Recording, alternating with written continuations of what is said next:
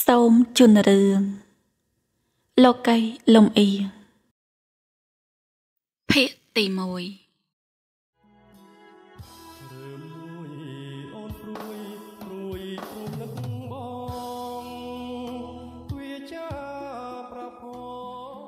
វិចាតនសាមេដាបៃតាមានកាតព្វកិច្ចជាអ្នកផ្ដល់ឲ្យមិនមែនជាអ្នកទទួលយកឡើយ គឺផ្ដល់ឲ្យកូននៅក្តីស្រឡាញ់ថែរក្សាគ្រប់គ្រងផ្ដល់ភាពកក់ក្ដៅទទួលខុសត្រូវរហូតអស់មួយជីវិត រហូតដល់កូនមានក្រមគ្រួសារហើយក៏ឪពុកម្ដាយនៅតែតាមមើលថា កូនមានសេចក្តីសុខទុក្ខឬយ៉ាងណា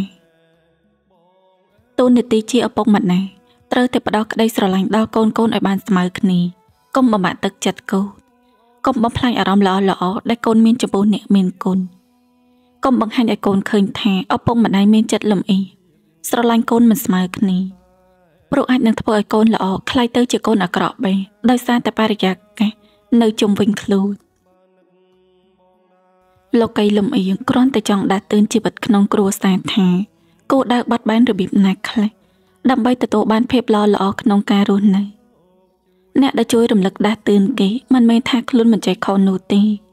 គ្រាន់តែអាចមើលឃើញគេច្បាស់ជាងមើលឃើញខ្លួនឯងប៉ុណ្ណោះហើយក៏ចូលរួមចំណែកបង្ហាញផ្លូវខុសដែលខ្លួនធ្លាប់ឆ្លងកាត់កន្លងមក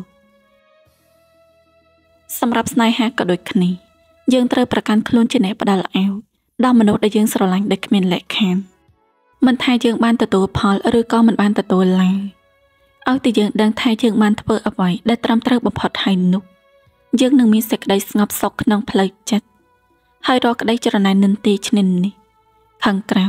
มันអាចមកបំផ្លាញក្តីសុខដែលស្ថិតនៅក្នុងចិត្តរបស់យើងបានឡើយ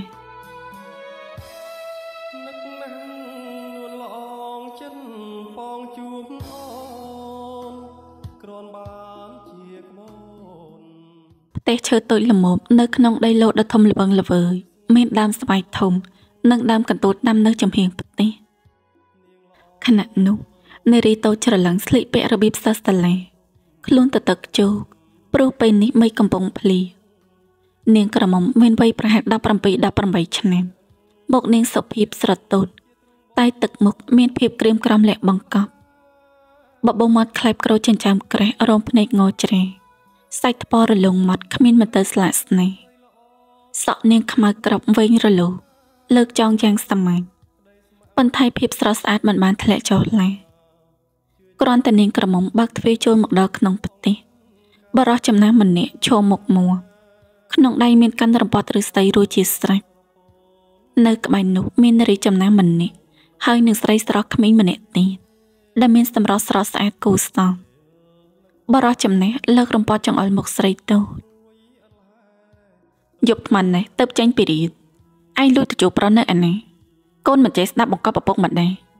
យើងប្រាប់ឯងហើយប្រាប់ទៀតថាកុំឲ្យតាក់តងឯម្នាក់នោះស្រស់ស្រីមើលទៅនារីម្នាក់ដែលឈរចិត្តស្រីចំណេះនាងឈ្មោះវិជ្ជរីជាប្អូនស្រីរបស់នាងកំពុងឈរពេកមាត់ចំអកនាងក្រមុំវិជ្ជរាជាកូនច្បោតែនាងមិនដែលបានទទួលការថ្នាក់ថ្នមពីឪពុកម្ដាយដូចជាប្អូនឡើយធ្វើឲ្យនាងតូចចិត្តនឹងឪពុកម្ដាយណាស់ជាកូនកើតចេញពីផ្ទៃម្ដាយតែមួយហេតុអ្វី ក៏នាងទទួលតែភាពស្អប់ខ្ពើមពីឪពុកម្ដាយបែបនេះស្រស់ស្រីក្រវីក្បាលតិចតិច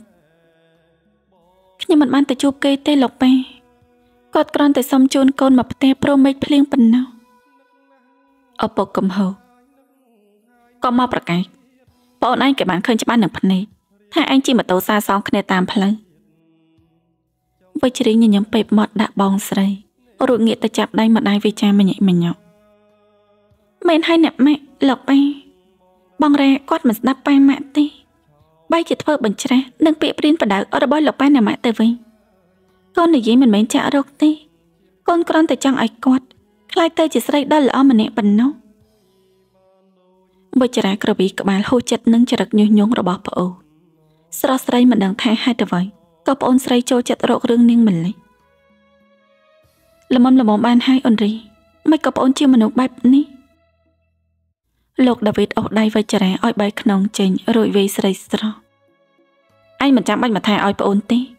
ធ្វើជាបងស្រីគេមិនក៏មិនធ្វើជាគំរូដល់ប្អូនឲ្យប្រាក់ទៅរៀនសូត្រដើម្បីចំណេះដឹងមិនមែនសម្រាប់យកលេសទៅតាក់តងប្រុសឈ្មោលទេ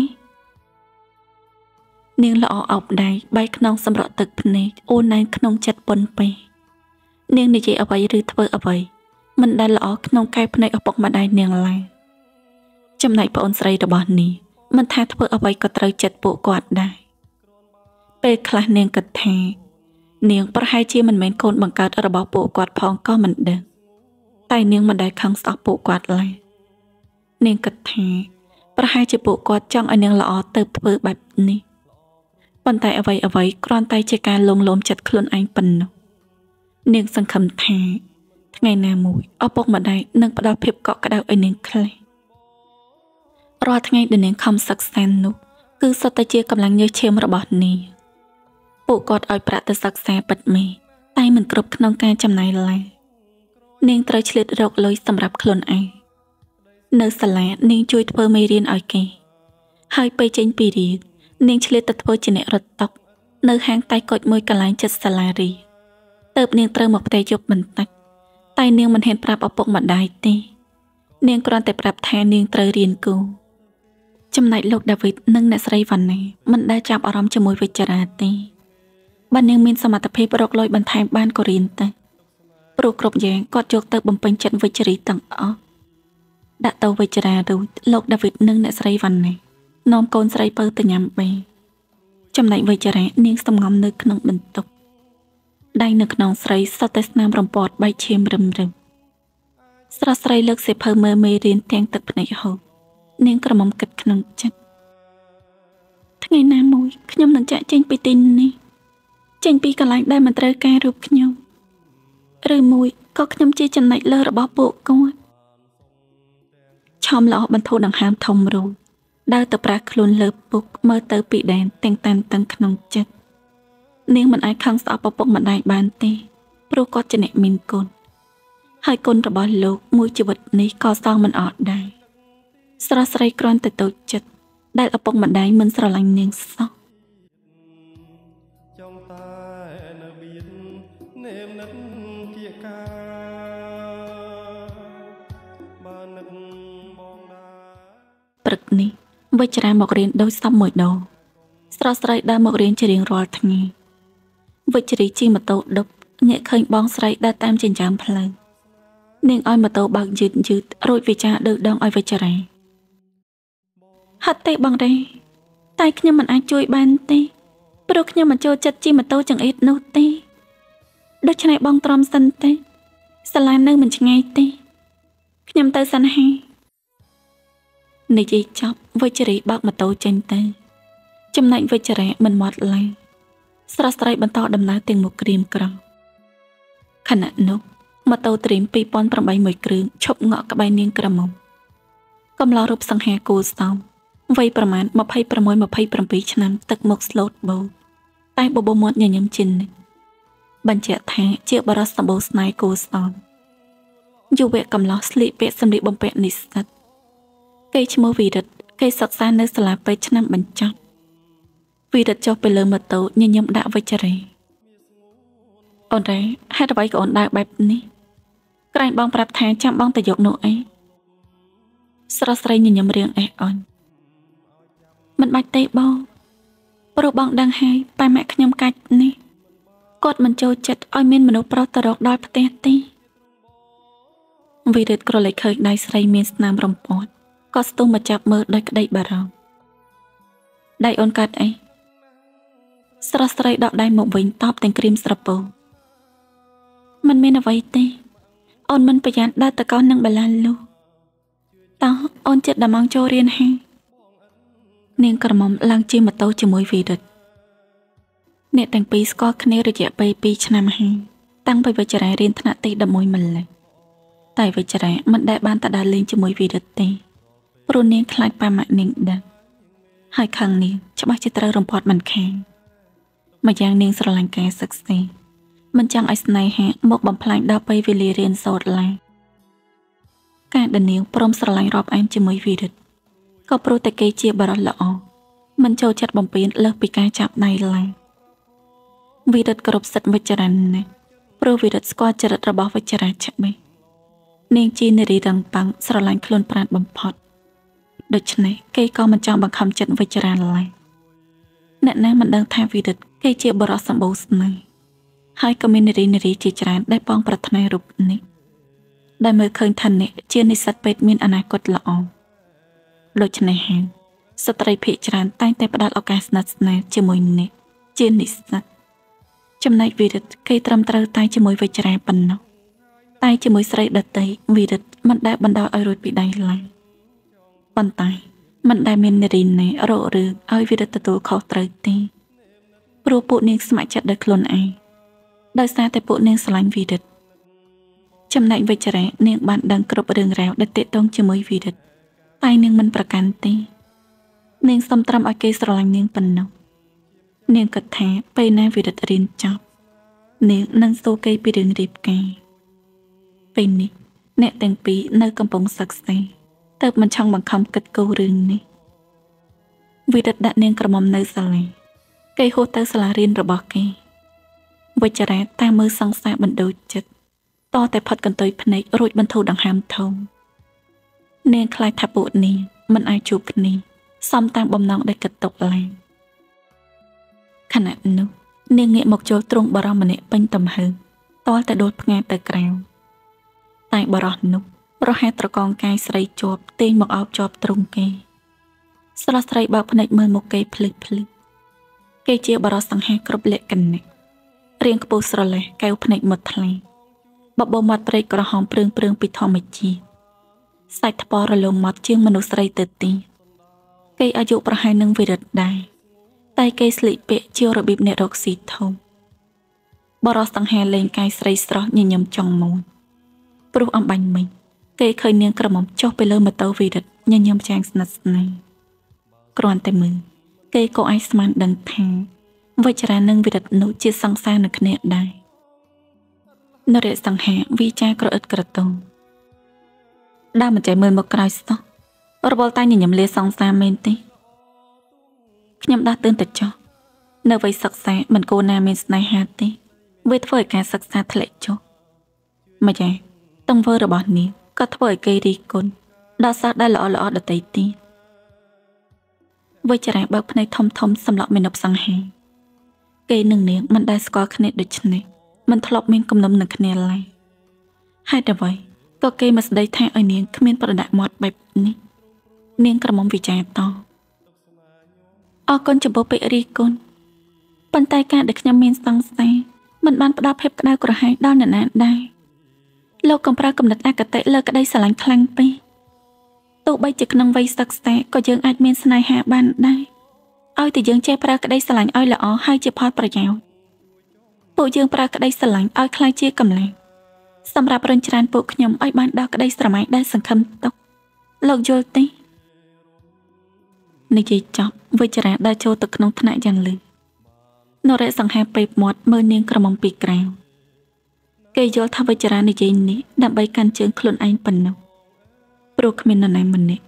ដែលទទួលថាខ្លួនធ្វើខុសនោះទេតែនេះជាគំនិតដែលឧត្តមកតិម្នាក់ឯងដូចជាគេគិតថា គ្មាននរណាដែលទទួលខ្លួនខុសនោះត្រឹមត្រូវណាស់ប៉ុន្តែមនុស្សម្នាក់ម្នាក់មានគំនិតខុសគ្នាដូច្នេះការបញ្ចេញទស្សនៈរបស់មនុស្សមានច្រើនបែបយ៉ាងมันអាចវិនិច្ឆ័យឲ្យអស់សេចក្តីសម្រាប់អត្តន័យនៃពាក្យថាស្រឡាញ់នេះបានឡើយឧត្តមជាកូនប្រុសច្បងក្នុងត្រកូលពិសិដ្ឋហើយក៏ជាត្រកូលដែលមានទ្រព្យមហាសាលដែរគេបើកផ្សារទំនើបមានលក់តំណែងគ្រប់ប្រភេទមិនថាសម្លៀកបំពាក់ពេជ្រ និងរបស់របរជាច្រើនទៀតដែលពេញនិយមហើយផ្សាររបស់ឧត្តមក៏មានជួលឲ្យអ្នកដតីចូលលក់របស់របរផងដែរថ្ងៃនេះអ្នកកំឡោះជូនប្អូនស្រីមករី ទៅបានជួបនឹងវិជ្ជរាចំណែកវិជ្ជរាឆ្នាំនេះនាងទៅប្រឡងថ្នាក់ទី12ហាងពេលនេះស្រស់ស្រីត្រូវផ្អាកឈប់រត់តុកនៅហាងតៃគុជព្រោះត្រូវយកពេលសម្រាប់គិតគូរដល់ការសិក្សាឲ្យបានច្រើននា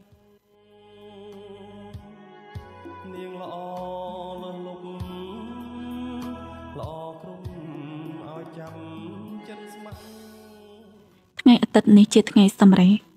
ដៃវិរិទ្ធបបោស្រស់ស្រីវិចារាតដើកំសាប៉ុន្តែនាងមិនអាចទៅបានទេ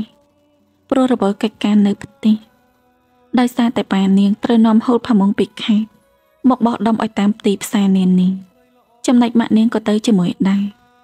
តើបនាងមិនអាចដើរចោលផ្ទះបានទេចំណែកវិជ្ជរីឲ្យតែពេលណាឪពុកម្ដាយមិននៅផ្ទះនាងក៏មិននៅដែរចេញទៅដើរកំសាន្តជាមួយមិត្តមិត្តបាត់មិននៅផ្ទះឡើយ ប៉ុន្តែឪពុកម្ដាយក៏មិនបានស្ដីបន្ទោសអ្វីឡើយយកលេសធនាងនៅក្មេងចូលចិត្តការសប្បាយវាមិនតខុសអ្វីទេព្រោះវាជាការលំហែខួរក្បាលពីការសិក្សាវិជ្ជរាកំពុងហាត់សម្លៀកបំពាក់ដៃមួយបានមកចាប់ដៃនាងក្រមុំជួវាចាស្រទន់គ្មាននរណាក្រៅពីវិរិទ្ធនោះទេទុកឲ្យបងជួយនេះម៉ានវិញញញឹមតមិនអីទេ បងទៅអង្គុយលេងនៅក្រោមដើមស្វាយសិនទៅបន្តិចទៀតខ្ញុំធ្វើរួចហើយវិរិទ្ធមិនធ្វើតាមវិជ្ជរាទេគេជួយលើកសម្លៀកបំពាក់ហាលជាមួយវិជ្ជរាពោលទាំងទឹកមុខស្ងួតស្ងប់ថ្ងៃនេះប៉ាម៉ាក់មិននៅអូនគួរតែមានពេលសម្រាប់បងខ្លះពួកយើងស្គាល់គ្នា2ឆ្នាំហើយតែមិនសូវដែរតំណាម្នាក់ជាមួយគ្នាសោះអូនមិនយល់ថាស្នេហារបស់យើងសោកកក្រោះខ្លាំងណាស់ទេឬ បងគិតថាប៉ាម៉ាក់អូនមិនសូវស្រឡាញ់អូនឡើយមើលចុះអូនធ្វើកិច្ចការទាំងអស់នេះរាល់ថ្ងៃមិនដែលមានពេលសម្រាកទេចំណែកប្អូនស្រីរបស់អូនបែរជាមានពេលទៅដើរលេងជាមួយមិត្តរបស់គេមួយថ្ងៃទៅល្ងាចមិនដែលខកអ្វីសោះវិជ្ជរាដកដង្ហើមធំលើកចានដែកយកទៅទុកបណ្ដារួចដើរទៅអង្គុយលើគ្រែឫស្សីក្រោមដើមស្វាយទៅវិជ្ជាទាំងទឹកមុខស្រពោមិនមែនដូចបងគិតទេ អូនជាបងត្រូវទៅធ្វើកិច្ចការអស់នេះជារឿងធម្មតាចំណែកការដើរលេងស្និទ្ធស្នាលគ្នារបៀបយុវវ័យក៏មិនអាចបញ្ជាក់ថា ស្នេហាយើងមានសម្ព័ន្ធរឹតតែខ្លាំងឡើងដែរបងស្គាល់ចិត្តអូនហើយថាអូនចូលចិត្តការសិក្សាចំណែកការដែលអូនស្រឡាញ់បងក៏ព្រោះតែបងជាប្រុសដែលផ្ដល់កិត្តិយសឲ្យអូនបើសិនជាបងដូចប្រុសដតីដែលចូលចិត្តតែគេងចំណេញលើពាក្យថាសង្សាននោះ អូនក៏ប្រហែលមិនប្រថុយប្រឋាននឹងការឈឺចាប់ដោយសារតែគេបានខ្លួនប្រែនហើយក៏បោះបង់ចោលនោះដែរវិរិទ្ធមើលមុខនាងក្រមុំរួចក្តាប់ម្រាមដៃដែលស្រលូនយ៉ាងណាកៅភ្នែកពោពេញដោយក្តីស្រឡាញ់បងស្រឡាញ់អូក៏ព្រោះតែអូនជាស្រីដែលមានចិត្តរឹងប៉ឹងបែបនេះហើយម្យ៉ាងបងក៏មិនចូលចិត្តបង្ខំនរណាដែរបើអូនស្រឡាញ់និងចូលចិត្តការរស់នៅរបៀបនេះ បងក៏មិនខត់ខាំងអូនដែរ តែថ្ងៃនេះបងសុំនៅលេងជាមួយអូនពេញមួយថ្ងៃហើយនេះនាងក្រមុំញញឹមងក់ក្បាលស្រេចតែបងចុះបើបងមិនថុញត្រង់អូនក៏ថាទៅផ្សារទិញម្ហូបធ្វើញ៉ាំជាមួយគ្នាល្អណាស់អញ្ចឹងបងទៅជាមួយអ្នកទាំងពីររៀបចំផ្ទះរួចរាល់ទៅនាំគ្នាទៅផ្សារវិរិទ្ធជាអ្នកកាន់កន្ត្រកឲ្យវិចារាការពិតវិរិទ្ធក៏ចូលស្ដីដណ្ដឹងវិចារាតាមប្រពៃណីដែរ ព្រោះគេបានស៊ូចិត្តខ្លួនឯងច្បាស់ហើយថានារីដែលអ្នកត្រូវការបំផុត ដើម្បីរស់នៅអស់មួយជីវិតនោះមិនមែនជាស្រីឆើតឆាយស្រស់ស្អាតតែមួយយ៉ាងទេ